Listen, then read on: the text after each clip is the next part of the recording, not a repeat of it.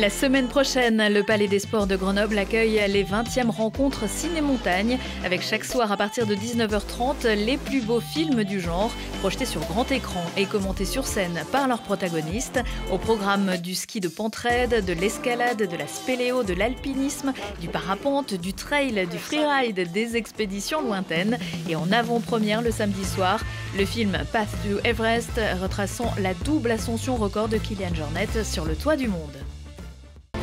Les passionnés d'équitation ont rendez-vous à Eurexpo à partir de mercredi pour le Salon international du cheval Equita Lyon avec 140 000 mètres carrés d'exposition et 11 carrières animées en continu durant les 5 jours.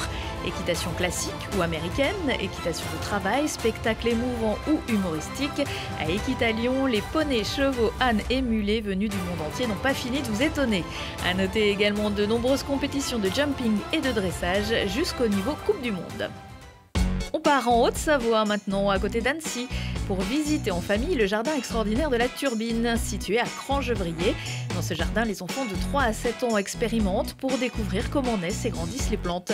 Un jardin idéal où les jeunes poussent déambulent d'une cabane à une serre et où chacun des végétaux rencontrés dévoile ses secrets. Pendant ses vacances scolaires, direction la Loire pour visiter le planétarium au centre de congrès de Saint-Étienne.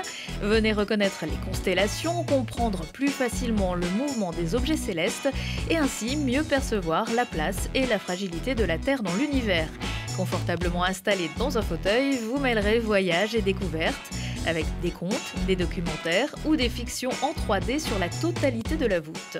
La salle des retables du musée Anne de Beaujeu à Moulins dans l'Allier a rouvert depuis quelques mois. Les peintures sur bois allemandes et autrichiennes des 15e et 16e siècles, ainsi qu'une collection de sculptures et d'objets d'art proviennent initialement du legs Louis Rambourg, riche industriel montluçonné du 19e siècle, complété par d'autres acquisitions au 20e siècle. Ce fonds exceptionnel a été surnommé le Petit Louvre. En effet, les huit panneaux du retable de Saint-Étienne justifient largement cette appellation.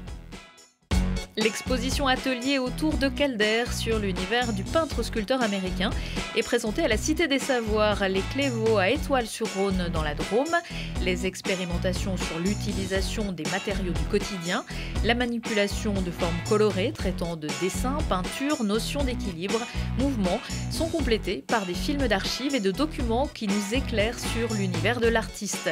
Victime de son succès, l'exposition est prolongée jusqu'au 9 décembre.